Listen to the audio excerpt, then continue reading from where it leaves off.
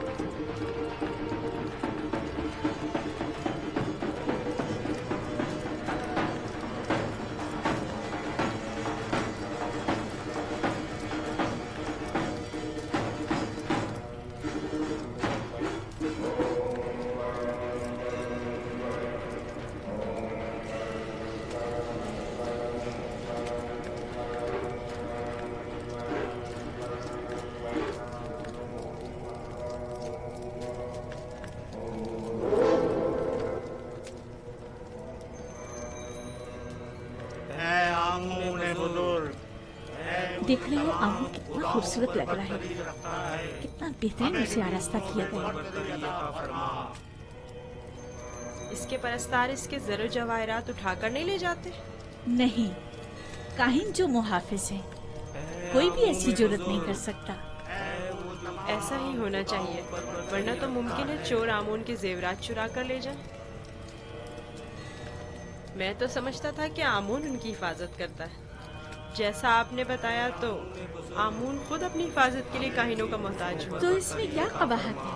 आमून का शुमार सबसे ज़्यादा कीमती और आम चीज़ों में होता है। हमें उसकी हिफाजत करनी चाहिए।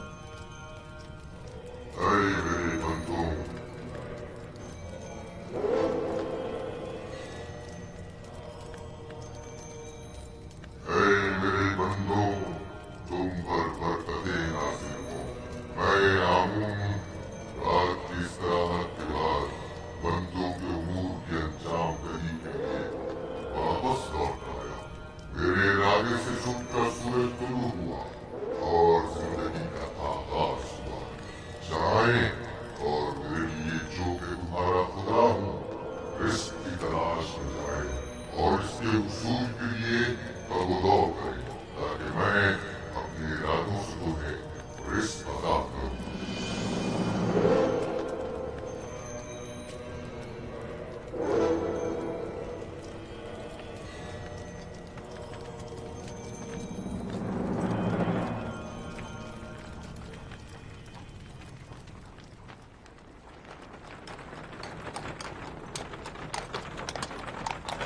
माफ़ कीजिएगा बानो। ये आमून था जो लोगों से मुखातिब था।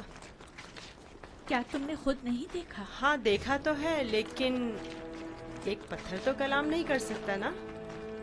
आमून पत्थर नहीं है। वो एक रूह है जो इस शक्ल में मुजस्सम होकर आता है। मैं माफ़ी चाहता हूँ। आमून खुदावंद ये कुदरतमंद और बेनियाज है। लेकिन मैंने आज उसकी बहुत सी न्याजमंदियाँ देखी हैं। वो istirahat का मोहताज था, वो लिबास व जेवरात और गसल का भी मोहताज था। हती कि हरकत करने के लिए भी काहिनों का मोहताज था। यहाँ तक कि वो अपनी हिफाजत भी खुद नहीं कर सकता, बल्कि दूसरों का मोहताज था। वो जाओ मकान, जनो फर्जंद और बहुत सी दीगर चीज़ों का भी मोहताज था।